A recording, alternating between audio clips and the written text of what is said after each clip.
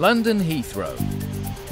Host to 78 million passengers, nearly half a million flights, and one very unusual animal reception centre. Animals passing through Heathrow come here to be checked in. Oh, he's really cute. Also known as the Ark, it's equipped to welcome almost any species through its doors. Its feet are massive. Not that big. From reptiles and livestock to pets and predators. It's up to the Ark to make sure everyone is clear to enter the country. Oh, textbook, Dan, textbook. More than 200,000 animals passed through last year alone. And its dedicated team of over 40 staff are on hand every hour of every day. Where's your water pot? And are always prepared to expect the unexpected. Oh.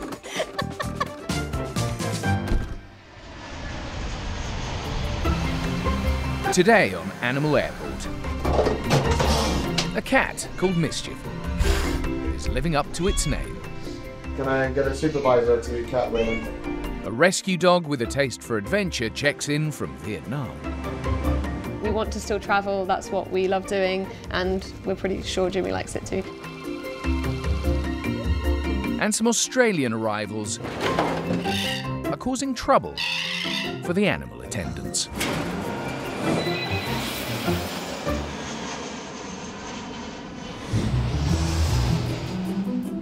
Heathrow sees around 50 million holidaymakers through its doors each year. And while the two-legged variety of traveller use the airport terminals to get through customs, all animals in transit must visit the Ark to be checked they're here legally and free from disease. We are very excited to see Jimmy. Yeah. Jimmy, our little puppy. Our little Jimmy, who's come from Vietnam. In reception, travellers Jade and Ollie are patiently waiting to be reunited with a dog they've brought back from Vietnam. It was uh, New Year's Eve, and um, we'd been talking to the guy who ran the hostel, and he basically said, I've got something that I want you to take. Just see what you think. And we were like, What is he talking about? And he turns his phone around and shows us a picture of these uh, five little, tiny, tiny little puppies, and our eyes just kind of like lit up. We'd been talking about getting a dog for ages, but we got the kind of like the leftover one, and we called him Jimmy. We completely fell in love.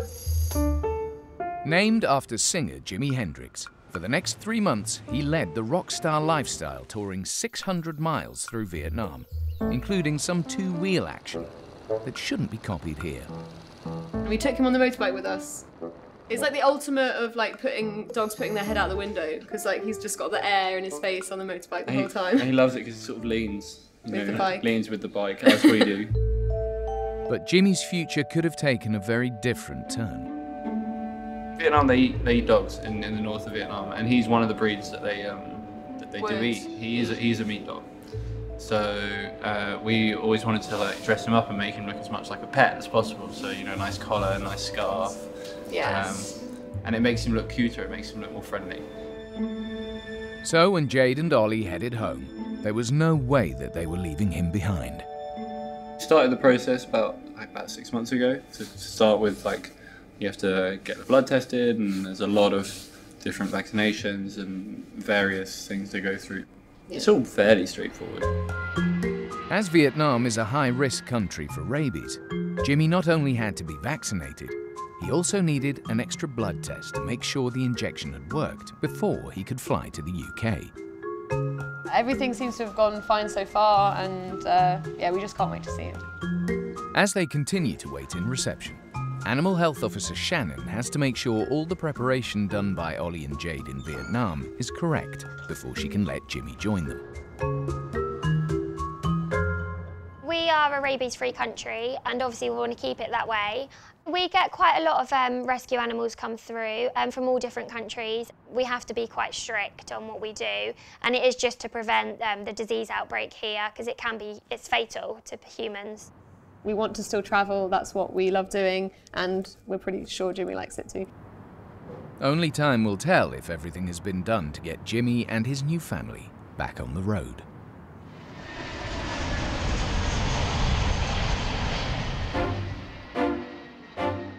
Long distance international travellers are familiar visitors to the Ark. Whether cherished pets or exotic zoo transfers, staff here have to be ready to welcome pet passengers as travel weary as their human counterparts. Supervisor Sean is overseeing the arrival of a large group of animals from Australia, who, due to weather delays, have now been in their travel boxes for more than 24 hours. So I think in total it's 20 boxes, um, should be eight boxes of birds and 12 marsupials, I believe. So quite a large shipment. We've got some wallabies, um, potoroos, wombats, um, galahs, cockatoos and some turkeys, I think. The animals are on their way to a zoo in Cambridgeshire to be part of a new Australian enclosure. And obviously it's such a long flight from Australia anyway without the delays, so um, just want to kind of get them back as soon as possible and make sure they're all okay. As there are birds on board, masks will have to be worn to protect them from airborne diseases. First off, wombats. Oh, he's digging in all the paper. Ground dwelling marsupials unique to Australia. They're well known for their stocky physique. An average adult is less than a metre from nose to tail, but can weigh in at nearly 40 kilos. God, he's heavy, isn't he? 20 new arrivals is a big influx for the centre. Oh, that's covered in spider webs. This is a wallaby. This is a wallaby, okay. So we've got a swamp wallaby in here. We're a bit full already. Some of our rooms already occupied by stuff that's been um, delayed because of the snow. The animals will be given food and water during their short stay. But staff won't release them from their crates unless they have to. Catching and reboxing animals can be a stressful and risky process. I don't think I've ever seen a wombat before. But they still have to be prepared for escapees. I hope you won't need it. Yeah. Each animal will have to be checked against the paperwork to ensure they're all clear to enter the country. And Shan spots a problem straight away. We potentially have a problem with one of the galah parrots. They are meant to all have rings on uh, one of their legs with the identification number on, and one of them uh, doesn't have a ring on either leg. So potentially that could be problematic because obviously the only way we would identify them is with either a ring or a microchip. Um, and without that, we're a bit in trouble, I think. It looks like it could be a long morning for Shan. Apart from the odd surprise shipment, the bread and butter of the centre are the tens of thousands of pets that pass through each year. And intern Dan is dealing with a more regular arrival, a pet cat. But there's nothing regular about mischief. Yeah, I don't think it likes me. Mischief has flown in from South Africa alongside sibling Smudge to rejoin their family who have moved to the UK. Uh, we arrived this morning and then they said it's about a four to eight hour wait. It's been a year process and um, I haven't seen them for 18 months. They've both been given clearance to leave, but while Smudge waits obediently in her box, Mischief is having none of it. Go in your box. Just playing with me. I prefer an aggressive, aggressive dog to an aggressive cat. Interns must learn to handle all animals, even the ones they're not so sure of. But in the case of Mischief, it's easier said than done. I get along with them. It's just that when um, when there's an aggressive cat, I uh, kind of um, take a step back and say, like, this is this is probably not a good idea. After struggling for 15 minutes with no success, Dan radios for backup. Hi guys, uh, can I get a supervisor to Catwing, quarantine Catwing, to get an aggressive cat into a box? Thanks. Dan has a bit of history when it comes to aggressive cats. I got scratched once when I, and then I didn't have all my rabies uh, vaccinations, so it's bad memories. I don't want to be scratched again. yeah.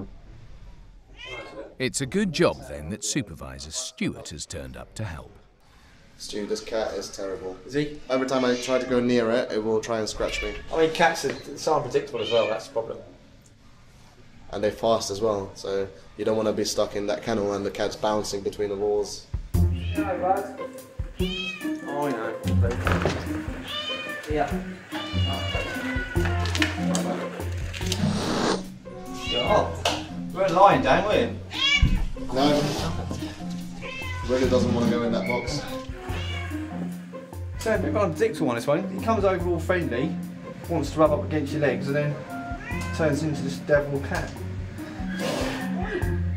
Even with all his experience, Stuart isn't having much luck either. I just can't work him out at the moment. That's a problem.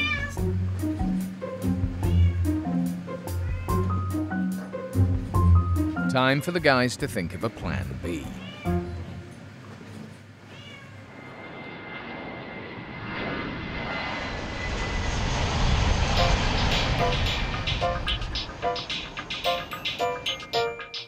In the dog wing, Jimmy, the rescued meat dog from Vietnam, has been waiting to get all his paperwork signed off so he can be allowed into the country.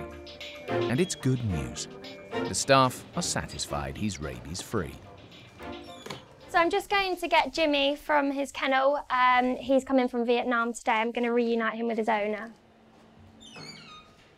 So these owners have been waiting quite a few hours now, um, just because the procedure can take a while, especially when we're busy and with customs. So I think the owner is very excited to see Jimmy. Hi!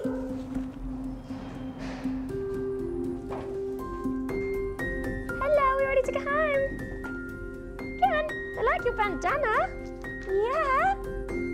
He's very happy, and I'm sure he'll be even happier in a moment. Can't wait to see him.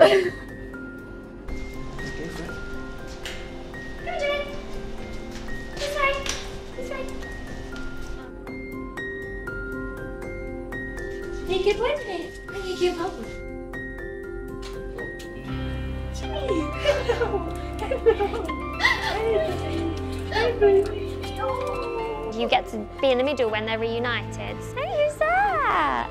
So it's, it's perfect. Jimmy has finally arrived in his new home country. Although he's not staying still for long. Just a few weeks later, he's back on the road.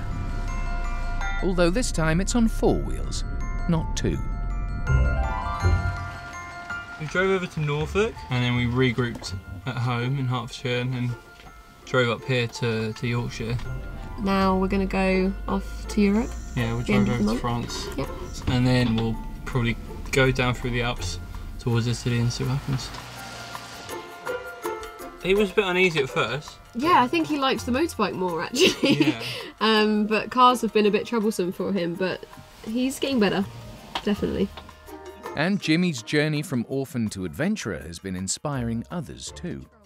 So we've got a lot of um, friends and people we know in Vietnam who are looking to bring their dogs or, and cats over uh, to England. It's quite easy, really, once we once we got all our ducks in a row.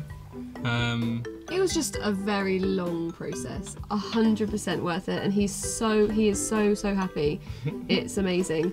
He's got a little home now, so he loves it.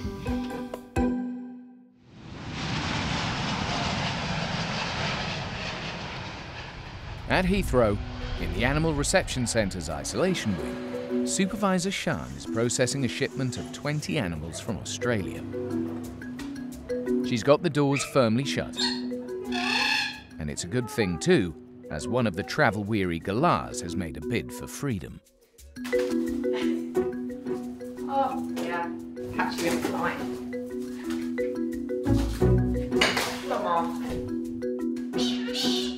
Yeah, that's okay. Do you want me to do anything, Suzanne? Once staff have got their hands on it, the flighty bird checks out against its paperwork. But one of his travel companions has forgotten his passport. This could be the end of the road for this galah. Without a ring, there's no way of identifying it, and no evidence it's cleared for international travel and free of diseases.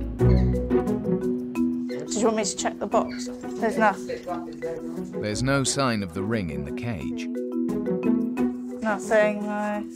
You want to have a look just in case? The unidentified bird is separated from the rest of the group until the staff are instructed on what to do with it. Birds checked. Time to move on to the marsupials. These are the first wombats to join a British zoo in over 30 years. This is the first time in my life I've ever seen a wombat in person. I don't think they're very common in zoos over here at all. I've never seen one in a zoo. I've only ever briefly studied them at uni, but that's it. Oh, hi. Oh, he's massive. Hello. Oh, my God. Yeah, I'm not letting go, oh, I'd don't like worry. to give you some food. The wombats all check out. The staff just need to top up their water for the last leg of their journey. This should be the easy part. Right, you, here's the towel if you want to bite anything, bite that, not me. Here's a drink. Please.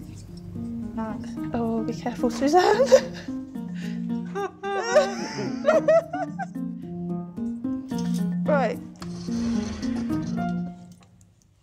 drink, mate. The wallabies have a bit more room to move around in their boxes. And after their long journey, they're a little jumpy.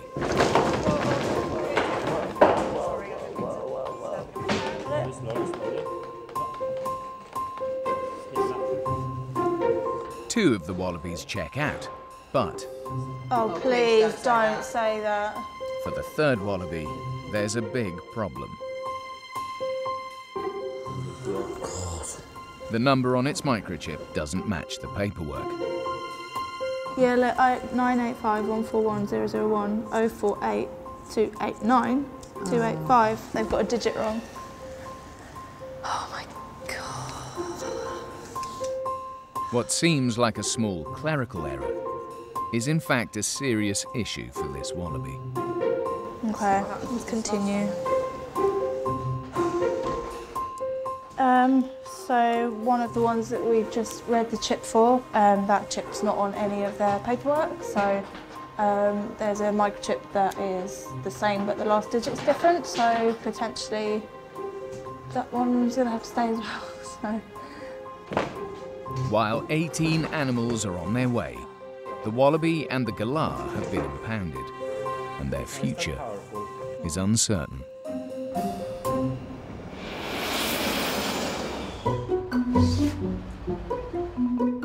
Over in the cat wing, traveller Mischief has been living up to her name. She's still refusing to get in her box, but Supervisor Stewart You weren't lying, Dan, were you? has a trick up his sleeve. This one's fine, yeah? Nice and dark inside, so. I just got Dan to get a bird net. We use these mostly to catch up birds, but they're really good for catching cats because it's nice and dark and literally it's run into the net or you scoop them up in the net and then it's easier to put in the box then.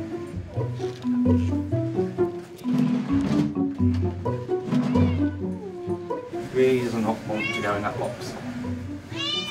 Right, go on.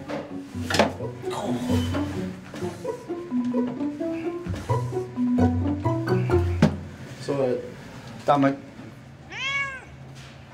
At last, Mischief is safely in her container, and Dan can breathe a sigh of relief. yeah, I'm happy it wasn't me who had to do it. And with the drama concluded in the cat wing, the wait is over for owners Paolo and Jackie. Hello. Meow.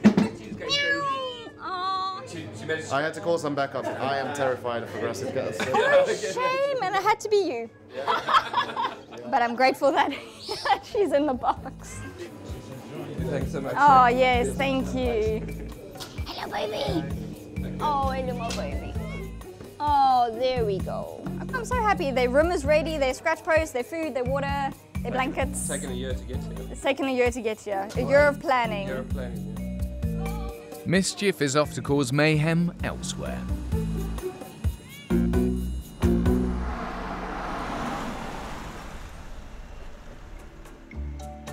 In the isolation wing, Sian now has to find out what the future holds for the impounded galah and wallaby from Australia. So we just moved the wallabies down into the corridor just to keep it nice and quiet so it's away from the other animals in the consignment. Uh, some of the birds are being quite noisy and also we had some quite loud dogs barking as well. We've discovered that one of them has a completely different microchip to what's listed on all the paperwork so unfortunately that one's probably going to have to stay with us.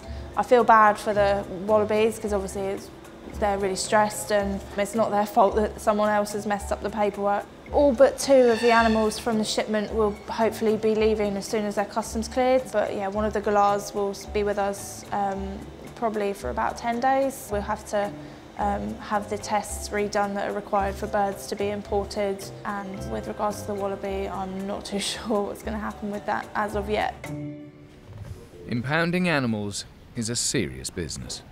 Sian needs to consult Deputy Manager Ross to discuss how best to proceed. Hiya, Sian. Hiya. Um, so I don't know if Suzanne's let you know what's going on with all these Aussie lots. So one of the galahs has got to stay, um, and one of the one of the one of the wallabies has got to stay as well. It's got the wrong chip number on all the paperwork. it's a bleak outlook for the wallaby. Yeah. But things are already looking up for the stranded galah. So a bit of good news, at least. Um, the galah can go. So um, apparently they realised a couple of weeks ago that its ring had actually fallen off. Um, they then microchipped it and applied for a new import permit, but they didn't put that in any of the paperwork and failed to let us know. So we've just scanned its microchip and everything matched up. So the galah can go at least. So it's just the wallaby that has to stay. The wallaby is released into its temporary accommodation, which is as dark as possible to keep it calm, while staff investigate what will happen to it.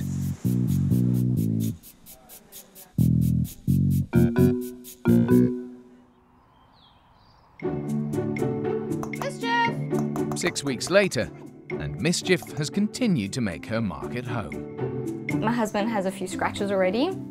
She loves to, to attack your toes when I named her as a kitten, I didn't quite expect that she would really live up to her name as being mischievous.